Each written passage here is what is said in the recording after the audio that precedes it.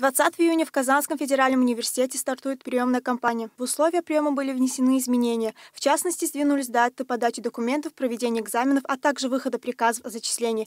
Прием документов у абитуриентов и поступающих по внутренним вступительным испытаниям завершится 15 июля, а по результатам ЕГЭ 25 июля. Этот прием, а, он немножко смещен относительно приема прошлого года, потому что у нас а, ну, спадают ограничительные меры по ограничению, связанные с пандемийными обстоятельствами.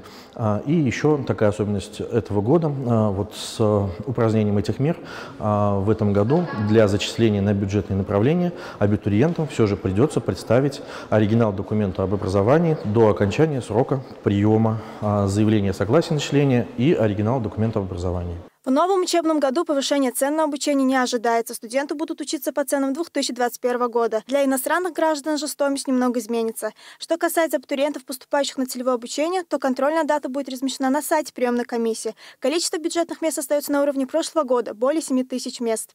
Вся информация для абитуриентов по-прежнему размещается на сайте «Буду студентом» и на сайтах институтов КФУ. Там можно найти план приема, список олимпиад и конкурсов, которые дают преимущество при поступлении. Все желающие могут подать документы дистанционно, через личный кабинет, а также через госуслуги. Сабина Гасанова, Андрей Пагауддинов, Univer News.